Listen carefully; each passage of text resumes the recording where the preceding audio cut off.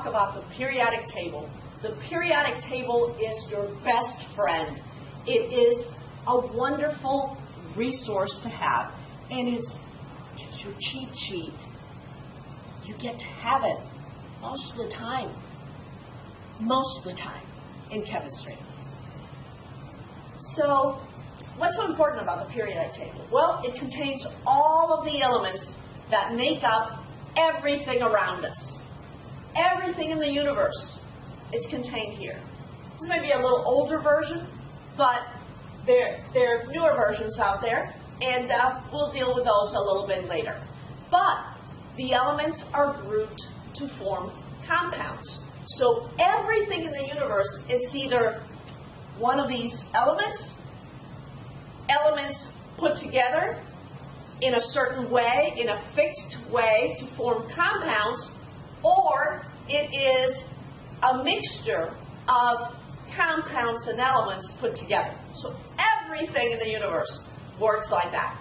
So it's a pretty important thing to know. Now, these elements are placed in this periodic table, who, by the way, a fellow by the name of Mendeleev, very smart guy, organized. We'll talk more about that a little later on. For now, let's focus on a couple of things. All right, the colors. Take a look at the colors.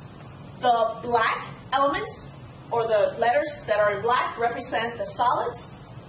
The these two that are in blue represent the liquids, the only liquids in the element form, and these red ones are gases.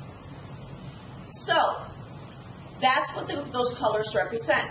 Now, all, not all periodic tables will be colored like this, but what you need to do is to memorize these elements, and they because they're very important, and you will know, uh, you will need to know this information, even though the periodic table may have, not have colors on it. All right.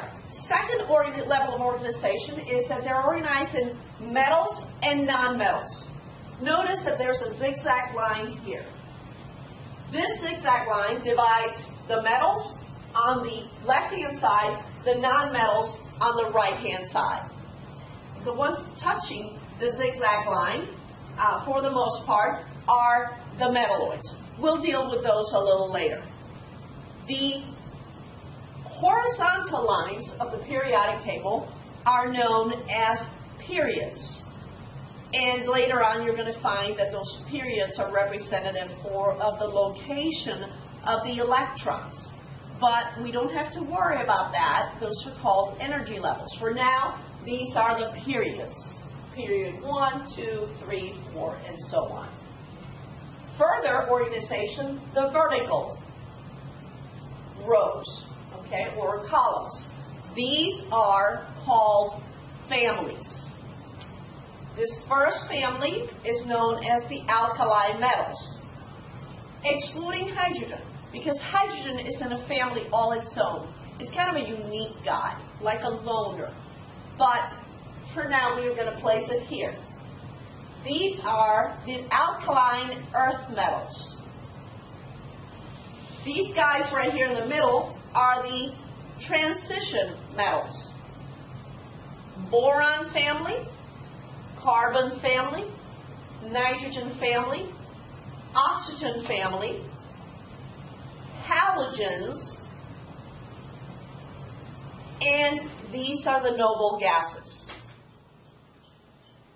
So there you have the organization of the periodic table. One more thing we're going to talk about the symbols. Each of these elements has, of course, a name and a symbol by which it goes.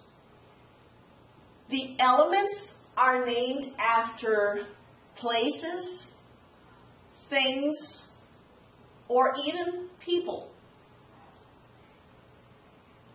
We're going to do a lot more with that in the classroom. Notice that the first letter of each element is capitalized. The second letter is not. Some elements have only one letter representing the element. Some have two letters. but the second one is not capitalized. Now, some are pretty intuitive. For example, H for hydrogen, B for boron, Li for lithium, Ca for calcium. But some others are not. For example, K is potassium. Hmm. Wonder why that is. And mm, let's say silver is Ag. The reason why this is so, Ag is argentum. Let's look at gold, for example. Gold is AU. It is the word aurum is Latin, the Latin word for gold. So that's why we say the symbol is AU for gold. One of my former students, I will never forget him, he used to say, I remember the symbol of gold because if I go up to someone, I would go, Hey, you, give me some gold. That's a way he remembered it. You may find many, many other ways to remember some of these elements. And we will be working that in uh, on that in class. All right. Another example would be lead. PB. It is PB for plumbum, which is lead.